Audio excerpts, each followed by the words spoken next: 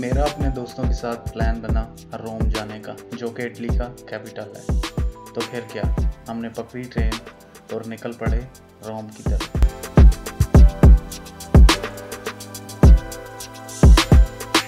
रोमा के लिए हम ट्रेन में बैठ गए और सबसे पहले मैंने ट्रेन में बैठ के करना है, अपने पिछले ब्लॉग की आई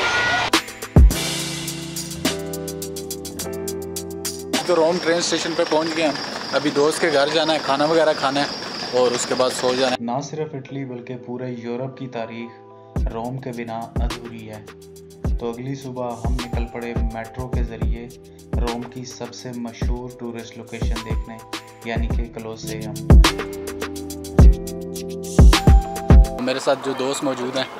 अस्सलाम वालेकुम वकास अदनान भाई। अस्सलाम वालेकुम भाइयों मैं अदनान हूँ स्वाबी से मेरा ताल्लुक़ है।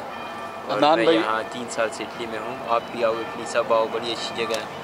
ये कुलसेओ बड़ी प्यारी जगह है। अभी हम और जगह पे जाएँगे तो आपको साथ लेकर चलेंगे तो अदनान भाई के पास हम रुके हुए हैं इनके घर में और राहिल ये खड़ा हुआ है। और थैंक यू अदनान भाई। शुक्रिया। हमें जगह देने के लिए। कोई तो आप, अभी आप आते रहो क्योंकि दोस्तों को लेकर ये जो अदनान भाई हैं ये यहाँ चार साल से रह रहे हैं तो यही हमें रोम घुमाएँगे सारा।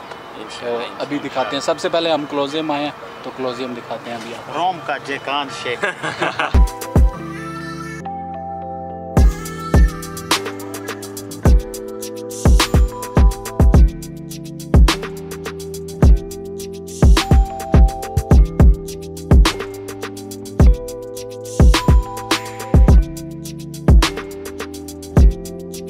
यहाँ पे अभी हम खड़े हैं रोमन फोरम के सामने। ये सामने जो आप देख रहे हैं सारा इसे रो, रोमन फोरम कहते हैं इस सारे को। और इटालियन में इसे फोरो रोमाने कहते हैं। तो अगर किसी ने आपसे कहा रास्ते में आप जा रहे हो कि फोरो रोमानो टिकट या बिलियतो तो उनका मतलब ये जगह होगी। अच्छा इस टिकट में वो आपको ये टिकट सिर्फ़ नहीं भेजेंगे बल्कि वो आपको साथ में वो जो कोलोजेम आपको नज़र आ रहा है कुछ वो है।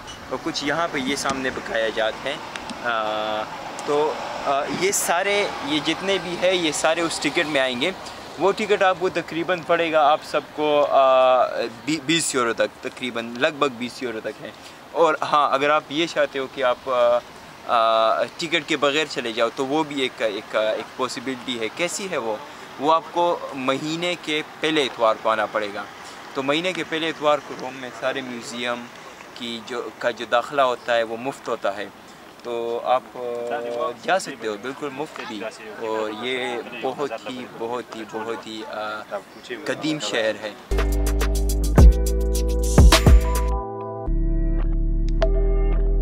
यहाँ पर लिखा हुआ है नो ड्रोन जोन ये जो बोर्ड है इसके ऊपर।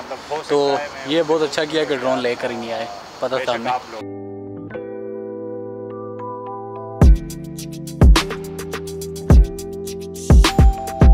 हम काम्पिदोलियो में हैं। जिसे हिल टॉप स्क्वायर भी कहते हैं। इसकी स्पेशलिटी ये है कि इसको फ़ेमस माइकल आंजलो ने डिज़ाइन किया था। और यहाँ से इसकी दोनों साइडों पे म्यूज़ियम है। और इसके अगर बैक साइड पे आप चले जाएँ तो यहाँ से रोमन फॉरम का पूरा टॉप से व्यू नज़र आता है। बहुत ही अच्छा। किसी भी टूरिस्ट स्पॉट जाने से पहले एक बात नोट कर लें। अगर आपने लाइन में नहीं लगना तो आप ऑनलाइन बुकिंग कर सकते हैं ऑनलाइन अपने लिए टिकट ले सकते हैं। हमें पता नहीं था लेकिन चलें अभी पता चल गया है तो कल के लिए टिकट ले लेते हैं क्योंकि आगे भी बहुत लाइन है और पीछे भी सही लाइन लगी हुई है। और गर्मी भी सही तेज़ गर्मी है धूप भी सही तेज़ है। तो अगर लाइन से आपने बचना है तो ऑनलाइन टिकट ज़रूर लें।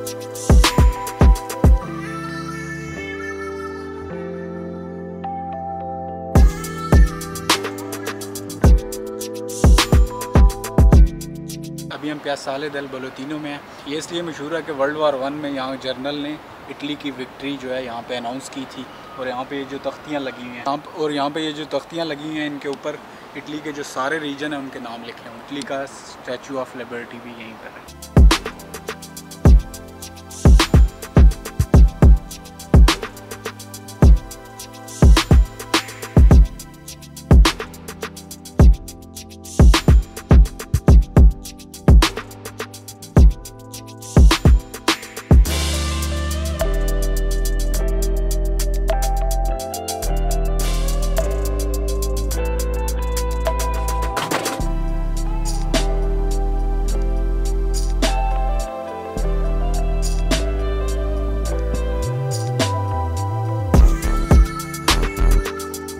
रैवी फाउंटेन में है।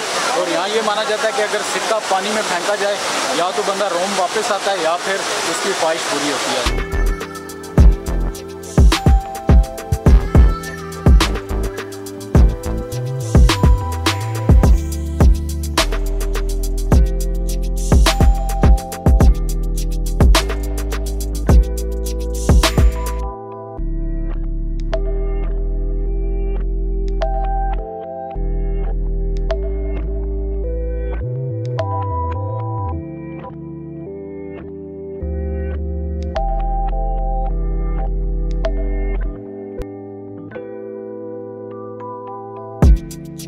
तो सनसेट देखने के बाद अभी हम आए हैं प्यासा पापलो में और ये अदनान भाई जो हैं हमें पूरा रोम घुमा रहे हैं।